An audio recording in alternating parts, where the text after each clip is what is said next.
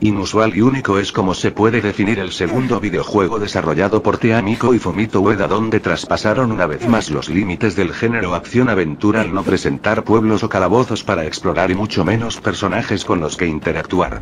Una odisea donde únicamente el protagonista, Wander, y su fiel corcel, Agro, lucharán contra enemigos gigantescos en una misión prácticamente imposible.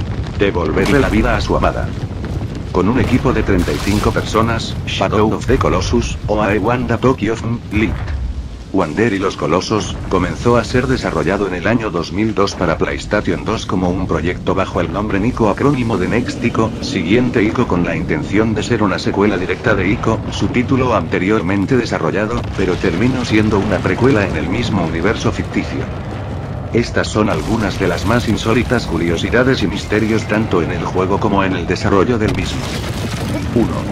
La guía oficial del juego reveló en una entrevista que había planes para cambiar el final del juego si el jugador tenía datos guardados de ICO en la tarjeta de memoria. Esta idea fue abandonada porque el equipo de desarrollo consideró que el final original era mucho mejor. 2. Ueda deseaba que el juego tuviera una presentación única y cambiara la percepción de los jugadores y desarrolladores sobre enemigos.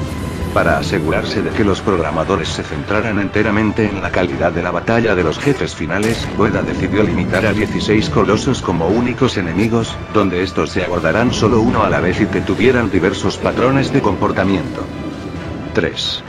El productor Keiji Kaido desafió a los programadores a implementar una física realista en relación a los movimientos de los enemigos y el jugador e incluso usarlos en su ventaja. 4. Ueda y Kaido demandaron un alto nivel en el equipo durante toda la producción. Ueda, un perfeccionista empedernido, afirmó que solo uno o dos de cada 500 artistas que se postularon para trabajar en Shadow of the Colossus cumplió con sus criterios y, a menudo, exigió cambios profundos en el diseño hasta que coincidió con su visión. 5. Existe un elemento no utilizado en el código del juego llamado el Ojo del Coloso. Aunque fue funcional en la previa del juego, se eliminó de la versión final. Este objeto permitía a los jugadores presenciar las batallas a través de los ojos del coloso que están luchando. 6. Ninguno de los colosos tienen nombres oficiales. Los nombres con los que se conocen fueron elegidos por fans o son apodos que los desarrolladores dieron a cada uno para diferenciarlos. 8. El juego iba a tener originalmente 48 colosos, pero ese número fue reducido a 24 y finalmente a 16. Muchos diseños fueron completamente desarrollados antes de ser descartados. 9.